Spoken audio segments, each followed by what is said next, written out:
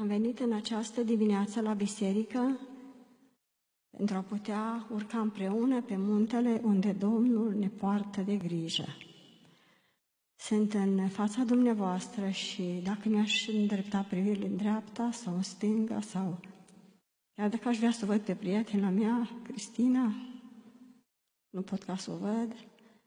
Dacă dumneavoastră ați închide ochii doar două, trei secunde, poate v-ați da seama ce înseamnă să vrei să te uiți undeva și să nu poți vedea.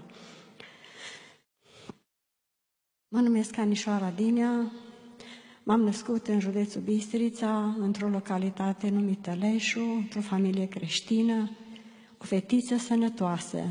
Părinții mei au primit un dar minunat, de care s-au bucurat mult și a fost bucuria lor și bucuria bunicilor. M-au crescut cum au știut ei mai bine, s-au bucurat de mine. Pe măsură ce creșteam, mă bucuram în casa părintească, împreună cu frățiorii mei care au venit mai târziu. Noi aveam o viață fericită, în seară ne adunam la rugăciune, la părtășie, veneau și vecinii noștri pentru că știau că în casa părinților mei era așa bucurie și mângăiere, liniște. Îmi plăcea să ascult pe părinții mei, după ce am crescut mai mare, am, început, m-am mers la școală. Clas, școala noastră era departe de casa noastră 4 km. Când era iarnă, îmi duceam seniuța cu mânuțele mele înghețate până la școală ca să mă dau cu seniuța. Mi-era drag așa, mi-era, îmi plăcea viața, fiindcă așa, îmi plăcea să mă bucur în viață, fiindcă așa m-au învățat părinții mei.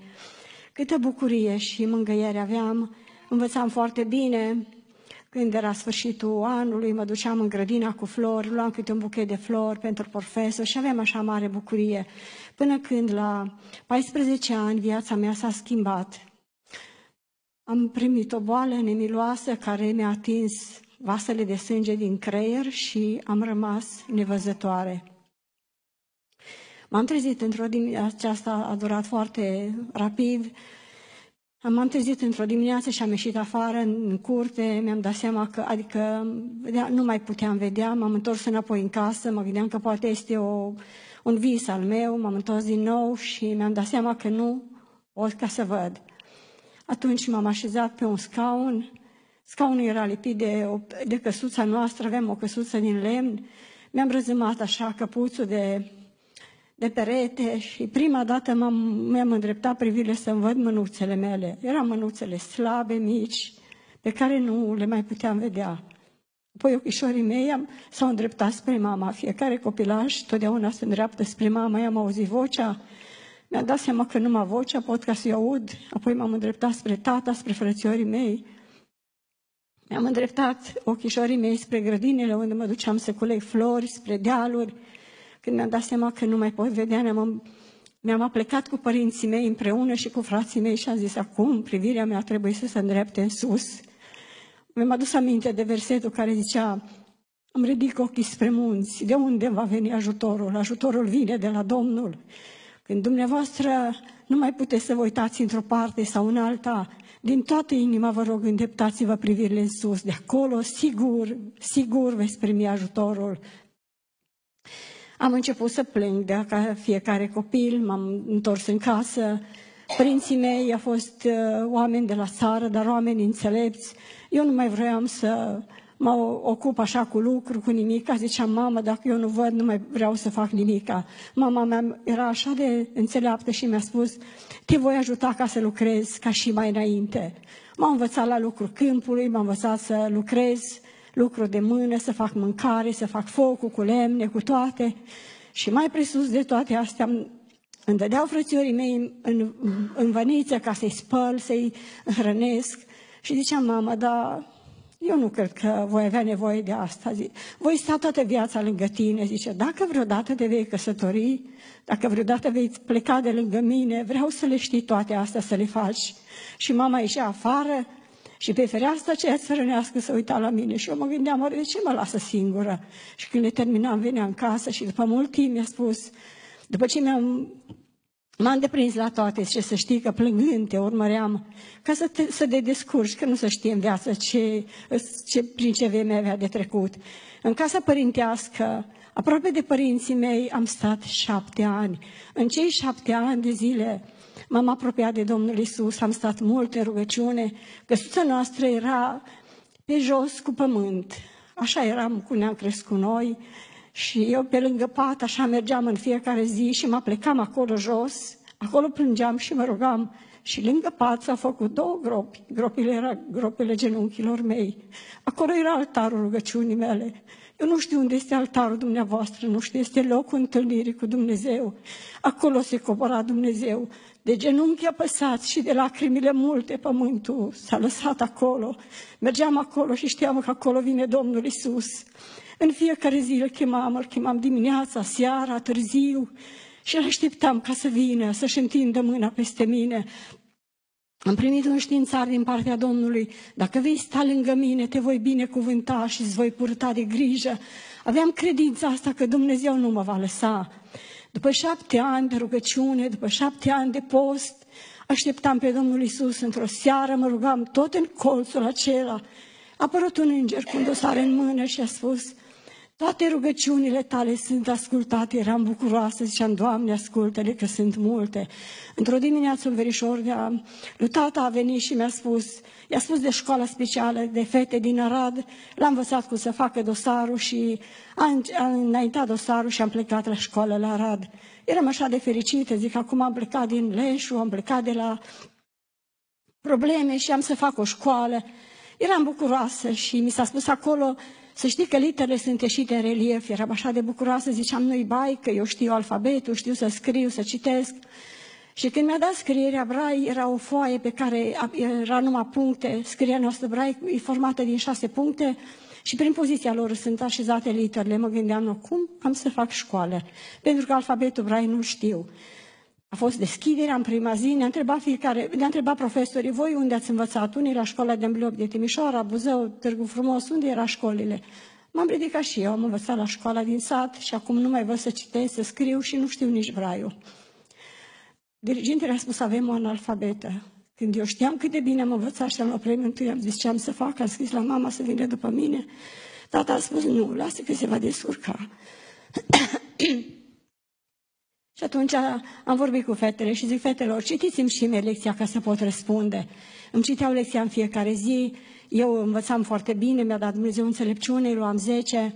Fetele care îmi citeau luau 5 și 6 și s-au gândit, nu, nu mai citim pentru că ea o să învețe foarte bine.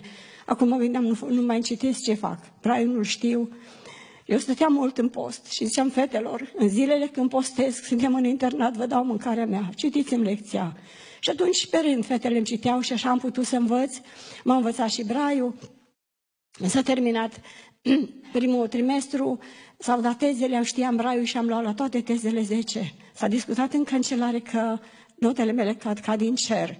Când s-a terminat anul întâi, am terminat cu premiul întâi. Și atunci dirigintele a spus că întotdeauna, când este cineva pe care nu-l cunoști, nu-i bine să zici nimic. Am terminat trei ani de școală la Rad, m-am angajat în stațiunea St. George Bay, Acolo am primit un apartament frumos. Eram așa de bucuroasă că acum aveam un apartament, mi-era foarte dragă munca, munceam de dimineața până seara, lucram la stat, lucram la masaj, făceam meseria de masaj, acolo în stațiune, la hotelul Hebe. Și mă vedeam acolo în apartament și ziceam, Doamne Iisuse, acum am servici, am casă, dar te rog să mă asculți, doresc să mă căsătoresc. Cum mama m-a învățat să lucrez lucruri de mână, nu se găseau haine, dar mi le făceam foarte frumoase, rochițe, jerseie. Și mă rugam în continuare și am zis, Doamne, ascultă-mi și mie rugăciunea. Sunt o fată nevăzătoare, dar îmi doresc un soț. M-am rugat pentru căsătorie 10 ani. După 10 ani, Dumnezeu mi-a ascultat rugăciunea. În stațiunea St. George au venit două surori de la turnul Severin și erau apropiate de mine, lucram împreună lucruri de mână și m-a întrebat dacă nu vreau să mă căsătoresc. Și eu am spus da, dar vreau un frate, vreau un soț credincios. Și mi-a spus la noi la turnul Severin vine un frate care a avut un accident de tren, îl, port, îl cheamă Dinea Emil. Poate ce sunt surori care îl cunosc.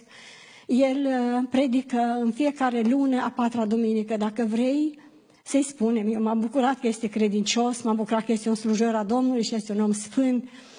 Și i-am dat o poză, i-am dat un plic cu adresa mea. Când, s-a, când a fost chemat ca să predice, surorile i-au spus, am fost la St. Joseph, am întâlnit o soră Și ar fi bine să o cunoașteți. Când fetele i-au întins plicul, el a auzit o voce, asta va fi soția ta. El m-a sunat și mi-a spus, sunt Emil Dinea de la Timișoara, după toate probabilitățile viitorul tău soț. Eu de frică și așa m-am speriat, dar până la urmă am înțeles că este voia Domnului. La 23 august a venit și m-a întâlnit. La 1 septembrie am plecat la Timișoara, am stat la fratele Crișan de, de lângă strada Cluj. Am pus analizele și 18 septembrie ne-am căsătorit.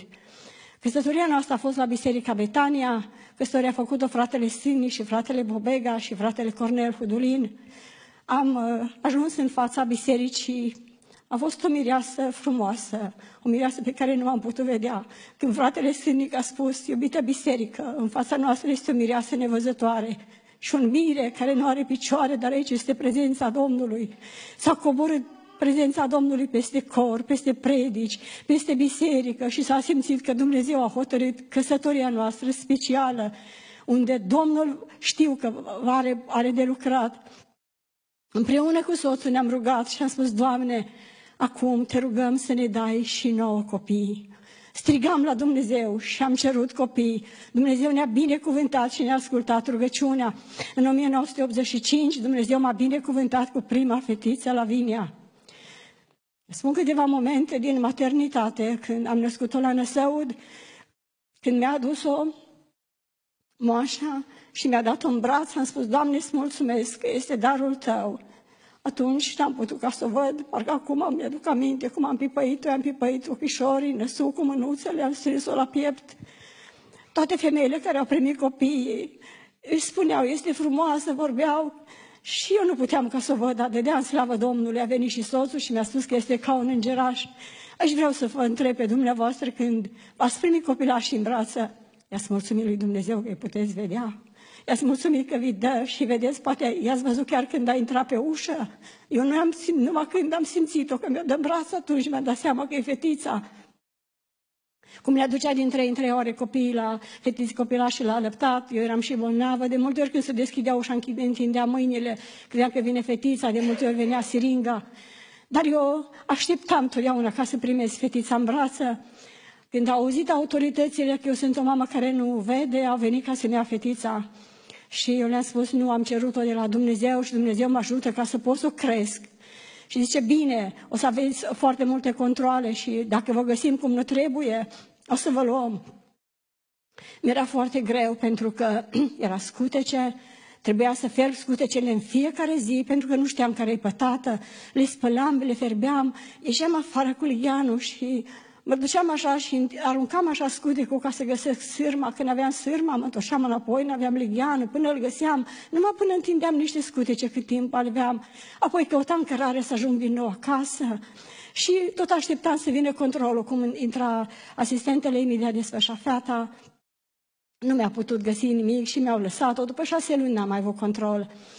Apoi, asta eram la St. George Boy, de, în, în avut la Vineonașul cinci luni, în 86, fratele David Nicola l-a chemat pe soțul la Buzia și a fost ordinat ca păstor și împreună cu soțul ne-am rugat și Dumnezeu a zis, Doamne, mai dă-ne copii. Dumnezeu mi-a dat-o pe Cristiana. Acum aveam două fetițe și slujam Domnului cu bucurie. Am născut-o la Bega. Când a auzit autoritățile că am soț fără picioare și două fete, a venit să mi le ia pe amândouă. Și am spus, nu, eu cred că Dumnezeu mă poate ajuta. Și din nou controle și probleme. Dar Dumnezeu nu m-a lăsat și nu mi le-au luat, pentru că l-am cerut din partea Domnului. Soțul era foarte mult chemat în slujire, predica, predica foarte mult în Oltenia, prin toată țara a fost chemat, pentru că Dumnezeu m-a binecuvântat pe mine, mi-era foarte dragă munca, eu când eram necăsătorit am muncit mult și am avut banii de mașină. Când ne-am căsătorit, eu am avut bani și am cumpărat mașină. Și a fost și un aparat hicomat, a condus-o cu mâna. M-a întrebat dacă vreau să-l las și a spus, de câte ori te cheamă în slujire, te rog să te duci, că eu, prin Domnul Isus mă va, mă va ajuta. De când pleca, atunci fetele mi se îmbolnăveau. Mă puneam pe genunchi și ziceam, Doamne, întindeți mâna și ajută-mă. Mă îndreptam spre punga cu medicamente. Ziceam, ce să le dau? Că nu văd nici punga. Le-aș pune termometru, nu văd nici termometru. Atunci le luam în brață, le mai punea câte o supozitor sau compresă. Dumneavoastră, dacă copilașii se îmbolnăvesc, eu aș vrea să vă îndreptați în primul rând privirile în sus, că Dumnezeu să atinge. Și ziceam, Doamne, soție în slujire, coboară-te și atinge și dă-le sănătate fetelor, pentru că vreau să le cresc pentru gloria Ta. Împreună cu ele am crescut, eram plină de bucurie că Dumnezeu ne ascultă, Dumnezeu ne poartă de grijă. Pe măsură ce au mai crescut, soțul a venit la mine într-o dimineață și zice, trebuie să le spui la fete, în situația, situația noastră, le-am luat în brață și le-am spus, dragile lui mama și dragile lui tata, le-a spus el, voi pe pământ ați venit într-o familie specială. Erau micuțe, nu pricepeau, să știți că mama nu vă vede, iar tatăl vostru nu are picioare. Ele s-au lipit așa de noi, ne-au cuprins și a zis așa, nu vă faceți probleme, tati și mami, că noi pentru voi o să fim picioare și o să fim ochi. O să vă fim un sprijin, pentru că dacă Dumnezeu ne-a trimis într-o familie specială, Dumnezeu ne învrednicește ca să vă fim noi un sprijin, ca să vă fim noi un ajutor. Veneau în fața mea de multe ori și mama întreba odată, dar chiar, mami, chiar tu nu ne vezi? Eu zic, nu, dar Dumnezeu vă vede, vă întărește și vă binecuvintează ca să fiți în familia noastră o binecuvântare. Mergeam pe stradă și ziceau, mami, mergi fără grijă, Că noi cu drag te ducem de mânuțele noastre și așa cu drag mă duceau, mergeau prin casă, mă ajutau la mâncare. Când erau micuțe, am uitat să vă spun, de multe ori nu le puteam da, da de mâncare și întorceau căpuțul, de multe ori le puneam și în ureche supa și zicea, lațe-ne, mamă, că păpăm noi cingure, că nu puteam să le dau bine.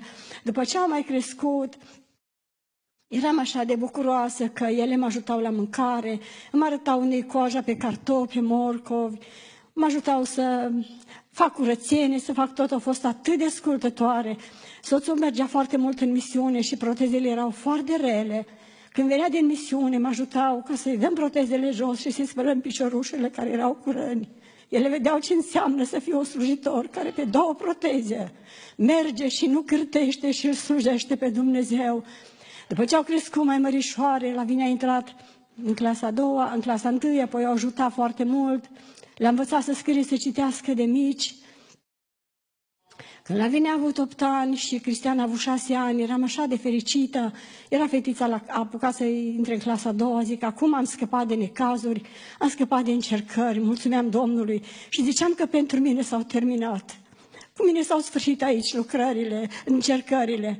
Și Domnul, am trecut să mă treacă prin alte încercări. Într-o dimineață, soțul a venit la mine și mi-a spus, mami, pe mine Dumnezeu m-a științat că mă duce în cer. Eu mă gândeam, Doamne, dar nu vei face asta. Am început să-L strig pe Dumnezeu, Doamne, mi l-ai dat, te rog să-L lași lângă mine.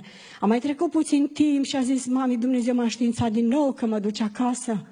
Am mai trecut iar puțin timp și într-o dimineață n-am să uit niciodată, a venit și a luat fetele pe brațe și a zis, ține așa pe un genunchi și una pe altul și a zis, dragile lui tata, până aici am spus la mama, de aici trebuie să vă spun vouă, pe mine Dumnezeu mă duce în cer, voi veți rămâne copii orfani, dar voi să ascultați pe Dumnezeu și să ascultați pe mama, că Dumnezeu mă duce acolo și vă aștept.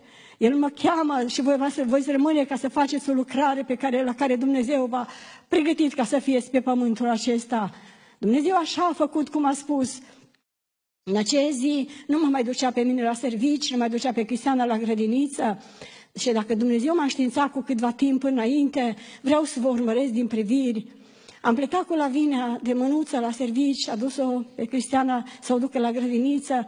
Mergând pe, când am ieșit în curte, să uita înapoi și zice, mami, mașina noastră este în curte și tati plânge în poartă. El a rămas un timp puțin cu noi ca să ne învețe cum să ne descurcăm fără el. A mai trecut un pic timp și a spus, mami, eu într-adevăr voi pleca de pe pământ. A luat un geamantan mare și a strâns toate hainele să le dea la săraci și a lăsat un costum de mormântare și câteva hăinuțe cu care se umble. Într-o sâmbătă dimineață a zis, mami, eu vreau să fiu mormântat la poalele muntelui Retezat, fiindcă acolo avea o soră, avea mai multe cunoștințe acolo. A pregătit mașina și fetele și a zis că vrea să fie mormântat acolo. Am ajutat și eu să eu nu puteam, că eram la servici, la, lucram la hotelul Timi și acolo, la Buziaș. Și m-a luat de mână și m-a dus de mână prin toată casa, mi-a pus mâna pe un diplomat unde i-a arătase la Lavinia actele, m-a dus, mi-a arătat așa cât a mai putut el și m-a dus în camera de rugăciune. Eu cred că și dumneavoastră aveți camera rugăciunii. Și a zis, aici este camera unde noi l-am chemat pe Dumnezeu și Dumnezeu ne-a ascultat pe amândoi. De aici Dumnezeu te ascultă numai pe tine.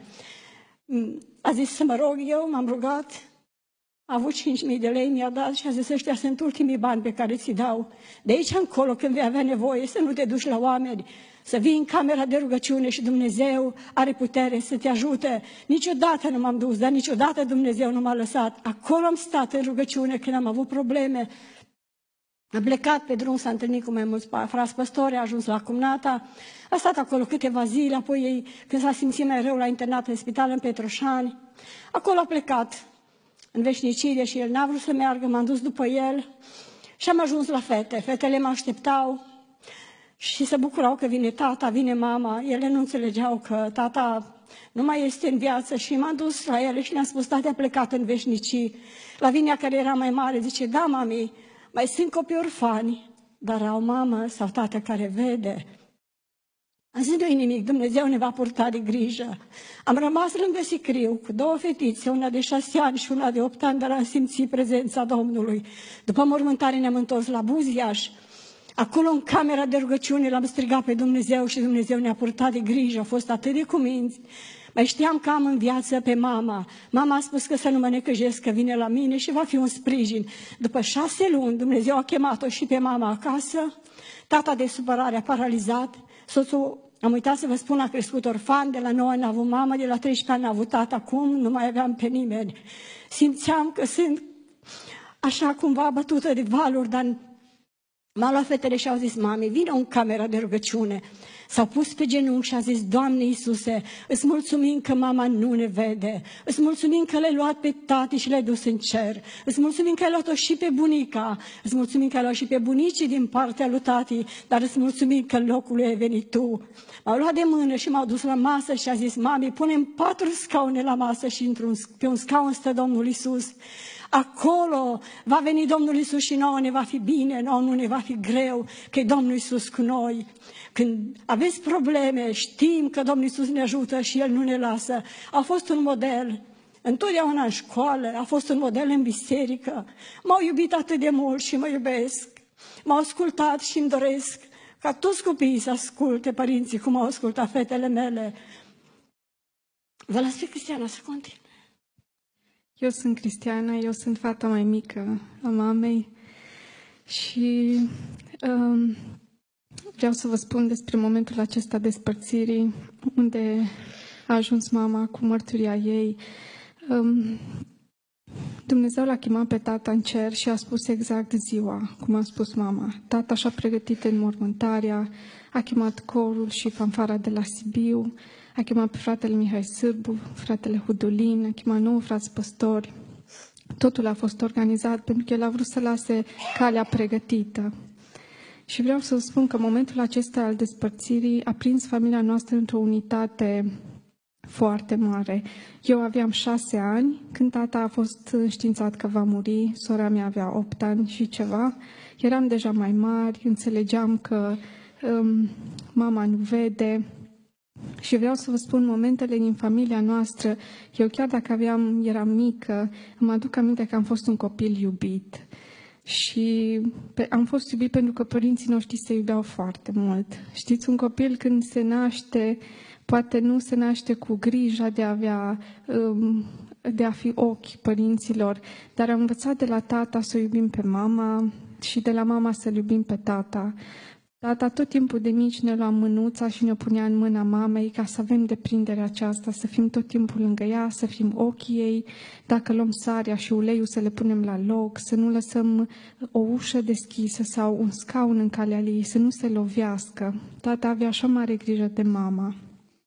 Iar când tata venea din misiune Știu că mama mergea cu un lighean cu apă și cu spirit și se punea în genunchi la picioarele lui și dădea protezele jos, îi le spăla, îi le dădea cu spirit. Erau așa, uneori uh, erau atât de rănite, erau doar sânge pentru că avea șuruburi, știți, de sub genunchi avea protezele și era prinse cu niște curele, aici așa sub brâu de o curea, dar erau numai șuruburi, aici erau proteze grele el avea pantaloni lungi și avea păpuci, avea și forma piciorului. Nu-ți dai seama că nu uh, are picioare, dar că umbla un pic mai clătinat. Dar țin minte picioarele lui și cum le spăla mama, le dădea cu cremă și după aceea îi le pupa. Știți, așa îi le ținea în mânuță și avea grijă de el. Tata spunea că a găsit în mama și soție și mamă. Crescând de la 9 ani fără mamă, știți, el și-a dorit așa o, o relație deosebită în familie. Și ne-au prins și pe noi în dragostea aceasta dintre ei doi. Um, tot, tot, tot timpul tata îi spunea frumoasa mea, iubita mea. Și mama zicea soțul meu și omulețul meu îi mai zicea uneori, pentru că purta proteze. Omulețule, zicea mama. Și tot timpul când tata zicea, Anișoara, um, cum zicea soția că dacă este fratele păstor, trebuie să dăm un exemplu, să fim ospitalieri. Vin frați păstori, fă mâncare că vine corul de la Bocșa, spunea, pentru un cor. Fă mâncare pentru un cor. O anunța sâmbătă pe mama și știu că mama atunci ne chema sâmbătă să facem mâncare, niciodată nu spunea nu și venea duminica, deschideam ușa casei și intra corul de la Bocșa, intrau toți copii orfani din Buzia și se ducea tata pe la stațiune și vedea oamenii care sunt mai în vârstă și nu puteau ajunge la hotel sau le era greu. În parc îi chema la noi la masă și se umplea casa de oameni, știți? Uh, bunica avea o vorbă că la casa de omenie se pot veseli și o mie, la casa de oameni răi nu se veselesc nici ei. Și așa era și la noi. Era așa de mare bucurie în casa noastră, niciodată n-a fost plâns sau tristețe, niciodată tata nu a spus, mamei, vai, mi-aș dori să vezi sau uh, să aibă așa o, o, o teamă sau o îngrijorare că noi vom, vom crește diferit de, alt, diferit de alți copii. Ei s-au străduit foarte mult pentru noi, să nu simțim ca un handicap. Țin minte că într-o iarnă uh, la Buzeaș noi stăteam chiar la um, poalele unui deal, un delușor și iarna era zăpadă mare, știți cum erau zăpezile pe vremea aceea și se dădeau toți copiii cu Sania și noi vedeam în fața geamului, ziceam, tata, vrem la Sanie. Și tata, vă dați seama, mama nu ne putea duce că nu vedea și nu ne putea trage. Tata aluneca pe, pe zăpadă și se gândea cum să facem la copilașii noștri bucurie. Nu cumva să zică că ele nu se pot da cu Sania. Și atunci a luat Sania și a legat-o de mașină și ne-a tras prin tot buzeașul cu Sania, ca să ne dăm și noi cu Sania. Și așa o bucurie mare. Ei, părinții noștri niciodată nu au pus accentul pe lipsurile care le avem sau pe handicapurile lor, tot timpul spunea, mămica voastră nu vă vede, eu am acest handicap, dar uitați-vă că cu cât este um, puterea noastră mai mică, cu atât este puterea lui Dumnezeu mai mare. Tot timpul ne-au concentrat privirile și atenția spre ajutorul lui Dumnezeu. Ne spuneau că cu cât noi ne vedem mai puțin, cu atât se vede Dumnezeu mai tare. Și așa era. Știți că se uita lumea la noi și zicea, Doamne, Anișoara, și cei care nu erau din biserică zicea, dar nu vedeți fetițele astea și nu și-au rupt o mână sau un picioruș. Știți, când sunt mici copii, se, sunt voios, sunt dinamici, mai ales cu așa o mamă activă, știți, se transmite în ADN asta, să te urci în copac, să sar peste gardă și nu ne-am rupt o mână, un picioruș, n-am avut nicio boală. Prima otită care am făcut-o eu a fost la 18 ani, când am luat majoratul. Sub, sub grija mamei n-am făcut nici măcar o tită. Vă dați seama, avea grijă de noi, ne, ne tricota hăinuțe, tot timpul ne, ne făcea căciulițe și veste. Asta le știu, să vedeți ce frumos lucrează mama. Când s-a căsătorit cu tata, i-a tricotat o haină de lână de sus până jos, groasă, cu mâneci și cu niște nasturi așa mari. Îl îngrijea pe tata, îl ținea ca pe un prinț. Și tata ne învăța pe noi, spunea, mama nu vede și uh, pentru că trebuie calcat halatul ei, știți, la, în baza de tratament, trebuia să se prezinte cu halat alb, curat, călcat. Lavinia avea uniforma aceea cu șorțuleț albastru pe vremea aceea și a învățat-o pe Lavinia foarte bine să calce, pentru că mama nu poate călca să nu se ardă la mâini. Știți că mâinile era pâinea noastră, cum făcea mama masaj medical. Um, am învățat um, multe, ne, ne explică mama cum a învățat culorile. Când tata pleca în misiune, um, încerca să spele haine sau să le pună la mașini și hainele trebuie sortate pe culori. Și mama ne întreba, Lavinia și Cristiana, haina asta e verde? Și noi ziceam, e verde. E albastră? E albastră. Și după aceea mama își dăstea seama că noi doar repetam culoarea care spunea ea. Știa că nu ne dăm seama de culoare, știți? Și atunci îi spunea, omulețule, învață fetele astea culorile, că eu trebuie să fac curat, eu trebuie să țin casa curată. Mama este ca exemplu acela din proverbe, știți, du-te la furnică sau du-te la nișoara din ea, știți, să vedeți cum lucrează. Casa noastră era tot timpul curată și pe tata îl ținea curat. Uh, noi am învățat de la mama că nu ai nicio scuză să nu muncești și să nu stai lângă Dumnezeu. Oricât de mare e handicapul tău, oricât de, ma- oricât de slab ești, aceste două lucruri poți să le faci. Cu puterea mică care o ai și tot ce poți să faci. Și momentul acela al despărțirii, momentul care a, a luat mărturia noastră, a luat altă însemnătate. Până acum îl vedeam pe Dumnezeu poate ca tată care îngrijește de noi prin tatăl nostru. Am văzut că a luat prezența fizică a tatălui nostru și uh, a, lăsat, a lăsat o promisiune. Pentru că atunci când tata ne-a anunțat că va pleca în cer, tata ne-a spus, um, eu vă las în grija lui Dumnezeu. Nu vă las în grija niciunui om, nici măcar a familiei. Vă las în grija lui Dumnezeu și vă las promisiunea că El mi-a spus că de aceea mă duce în cer, ca voi să rămâneți de mărturia faptului că El are grijă de copii orfani și de văduve, chiar de o văduvă nevăzătoare. Și tata a murit în martie, eu în septembrie am intrat în clasa 1. Eu n-am avut niciun părinte să-mi vadă caietul sau carnetul de note. Um, Țin minte prima zi de școală, când am fost, um, am fost doar cu sora mea, pentru că mama lucra atunci la stațiune și a cerut învoire să fie alături de noi în prima zi de școală. Știți ce bucurie când intre copilașul la școală, e o etapă nouă, începe uh, să intre în lume, să învețe. Dar nu i-au dat învoire mamei și m-am dus doar cu sora mea de mânuță. Amândouă în uniforme și acum știu că era o zi ploioasă și mă uitam eu în stânga și în dreapta, vedeam că vin copiii cu părinții, cu bunicii, cu mătușile, cu cine se bucură pentru tine. Și sora mea, înțeleaptă, o soră deosebită, se uita la mine și zicea, Cristiana, tu nu trebuie să te superi, că eu nu am venit aici pentru mine, eu am venit pentru tine. Dar și era clasa a treia. Vă dați seama, eram una cu un cap mai mare ca cealaltă. Um, vă voi arăta poze, am câteva la mine, dacă vreți să vedeți după această întâlnire, să vedeți um, care era sora mea atunci și spunea, eu am mai trecut odată prin asta. Știți cumva că ea a mai fost în clasa întâi și a doua la deschiderea anului școlar și că ea știe, a zis, eu, eu nu mai vreau ceremonie, eu sunt aici pentru tine, eu sunt în locul lui mama, mi-a spus ea. Și ne-am dus în fața clasei, atunci eram aliniați de mână câte doi. Clasa 1 A, B și C, eu eram în clasa 1 B. Și s-a dus, m-a luat așa de mână în fața coloanei de colegi și a spus, uitați, aceasta este sora mea. Cine se atinge de ea are de-a face cu mine. Și se uitau toate mamele, toți părinții, știți, la doi copii. A venit învățătoarea și a spus, dar unde este mama voastră? Că învățătoarea știa situația, știa că va veni un copil orfan în clasă, știa că mama nu vede. Și a spus, um, Mama noastră nu a putut să vină pentru că lucrează, dar eu sunt aici cu sora mea și nu vă faceți griji. Eu am luat premiul întâi în clasa 1 și a doua, voi lua așa cum în clasa 3 și și sora mea va lua premiul întâi, pentru că eu voi avea grijă de ea, mama nu vede, eu voi semna notele în carnet, tatăl meu i-a lăsat procură specială pe surorii mele, știți, la 8 ani, ca să poată semna numele mamei.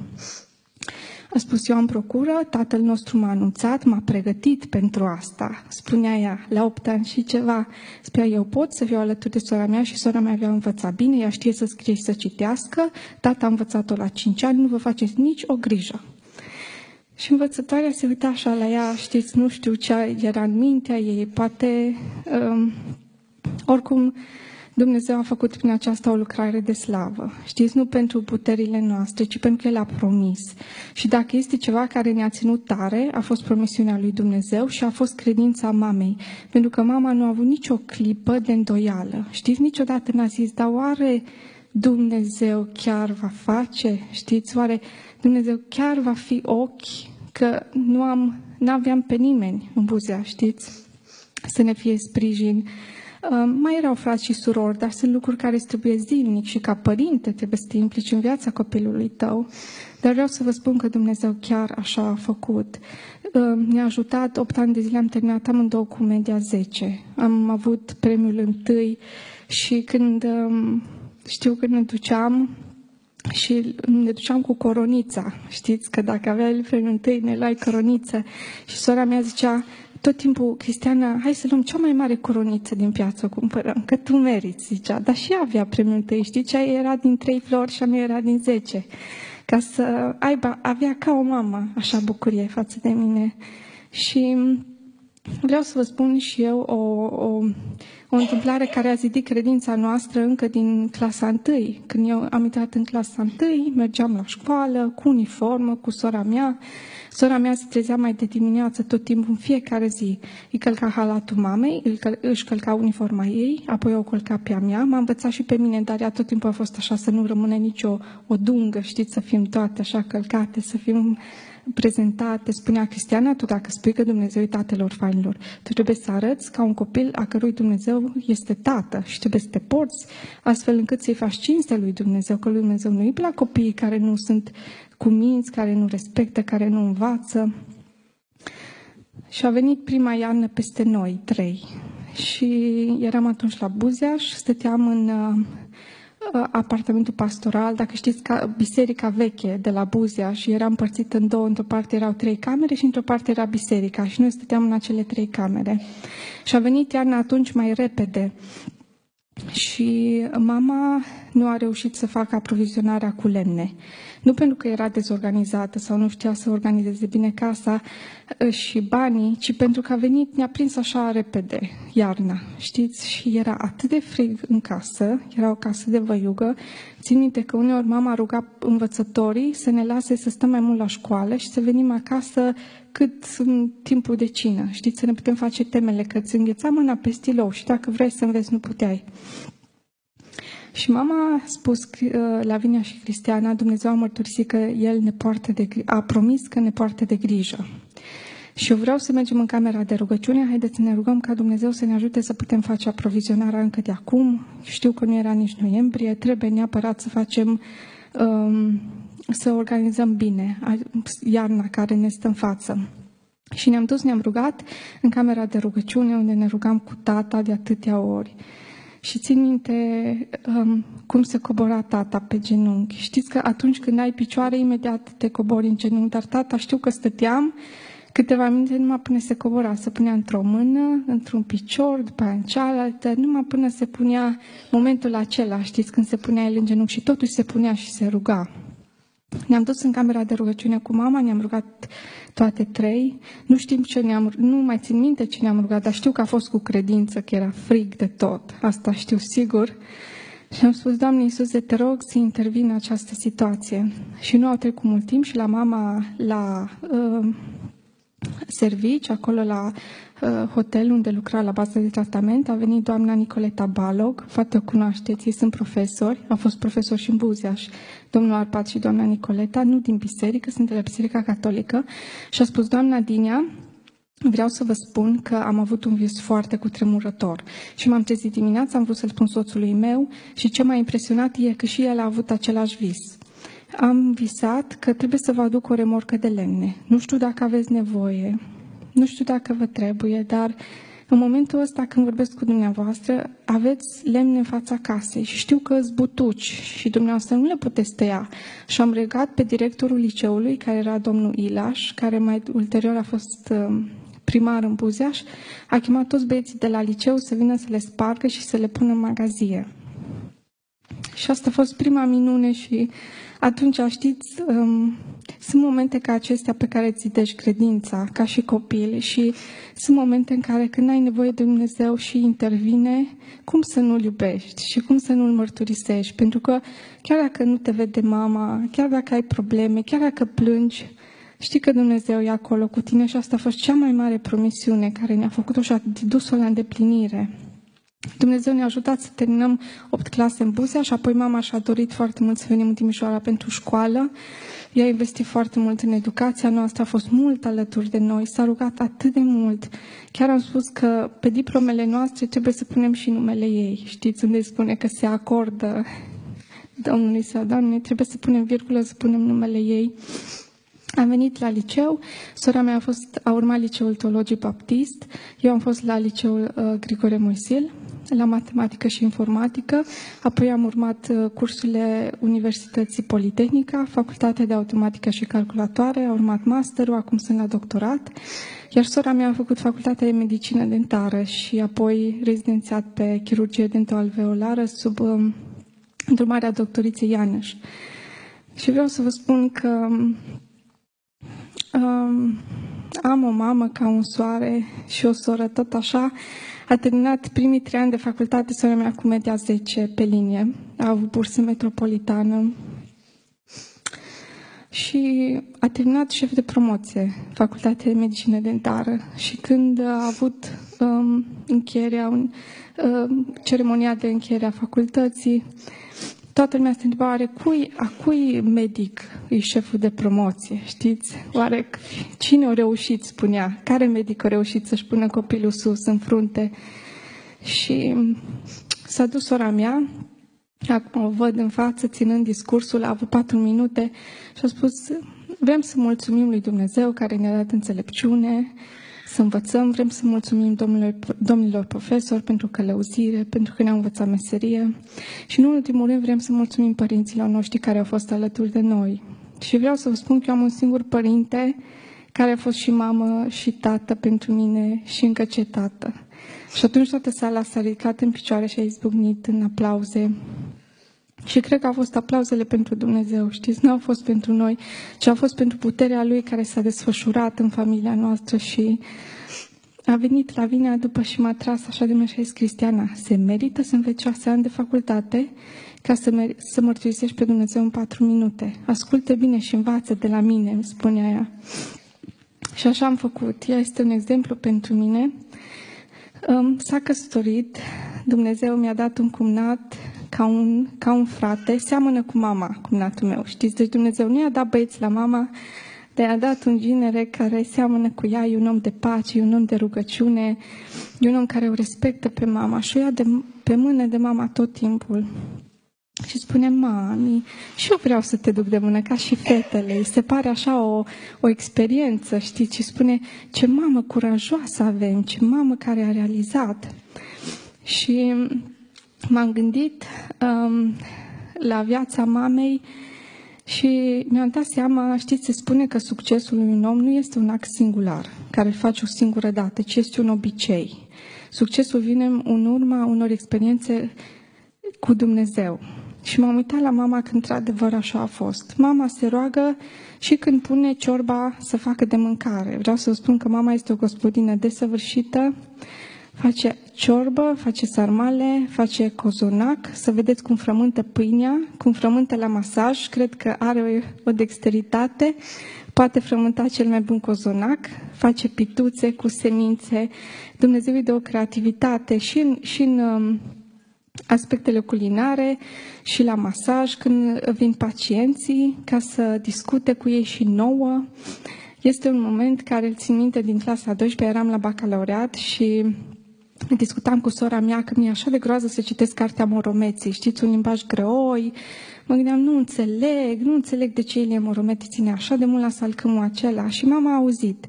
Și cum discutam cu sora mea în casă și a sunat la Asociația Nevăzătorilor și a cerut cartea Moromeții citită pe casete. Știți că iau cărțile citite pe casete. Și m-a chemat într-o zi și a zis, Cristiana, puiu, mami, hai la mama să-ți facă un masaj, că acum înveți și la bacalaureat, să n-ai probleme cu spatele.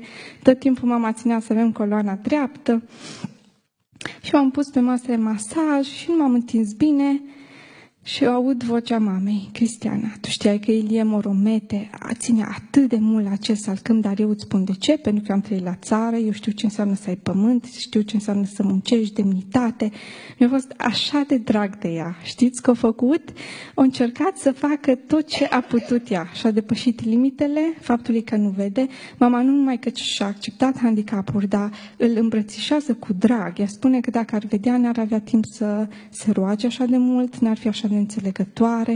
Îmi spunea, Cristiana, tu vezi și tu percepi unii oameni după aparențe, poate, dar eu, eu sunt atentă la cum vorbesc, eu sunt atentă la cum se comportă și eu înțeleg oamenii, dar din alt punct de vedere. Tot timpul a fost uh, mama acest um, izvor de bucurie și mulțumire la noi în casă, în care noi ne-am noi ne-am alimentat și eu și sora mea, pentru că dacă stai lângă o mamă așa și te plângi, știți, ți-e frică că vine un fulger din cer și te trăsnește în momentul acela, dacă spui că ți-e greu lângă o mamă așa. Și am zis, mama, um, ești un model. Ești un model pentru că ai luptat pentru noi, ai luptat cu statul, pentru că statul a vrut să ne ducă la orfelinat și după ce a murit tata, au venit de la primărie familii să ne înfieze și a spus, nu, eu am dorit copii, am luptat pentru ei, voi lupta în rugăciune, voi lupta să le asigur tot ce pot din mâinile mele, voi lupta să le dau educație, să fie un exemplu. Dacă mama și-ar fi pierdut credința, știți, mărturia noastră nu ar fi fost despre Dumnezeu. Sau dacă s-ar fi plâns toată ziua, unde ar fi fost Dumnezeu glorificat? Dar așa putem sta acum în fața dumneavoastră să mărturisim că Dumnezeu este tatăl orfanilor, este apărătorul văduvelor, este Dumnezeu care a fost, este și va fi întotdeauna. Nu știm ce va aduce ziua de mâine, dar știm că Dumnezeu este deja acolo, pentru că El este viitorul nostru. Și vreau să Credeți pe mărturia noastră atunci când treceți prin încercări, pentru că știu că la dumneavoastră poate este în alt fel. La noi Dumnezeu s-a descoperit în felul acesta pentru că mama nu vede, dar fiecare avem încercarea lui și lupta lui spirituală, lupta emoțională. Poate unul ne vedem slabi și poate ca mame mă gândesc că aveți griji pentru copii. Poate astea sunt cele mai mari griji care și le face o mamă. Și noi ca și copii știți, nu știm cât plânge mama, nu știm cât se roagă mama, dar rugăciunea, să știți că îmbracă un copil cu putere și îl păzește și de ce nu știe ce să se păzească. Vă lăsăm cu versetul familiei noastre, care este din Psalmul 119 cu versetul 105, care spune, Cuvântul tău este o candelă pentru picioarele mele și o lumină pe cărarea mea. Este versetul familiei noastre pentru că tata nu avea picioare și mama nu vede.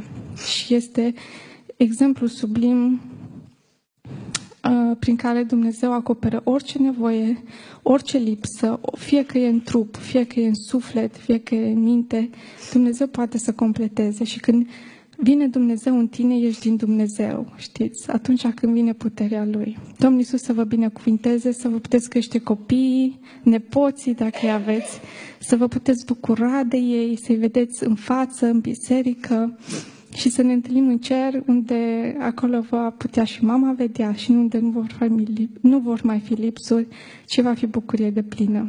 Amin.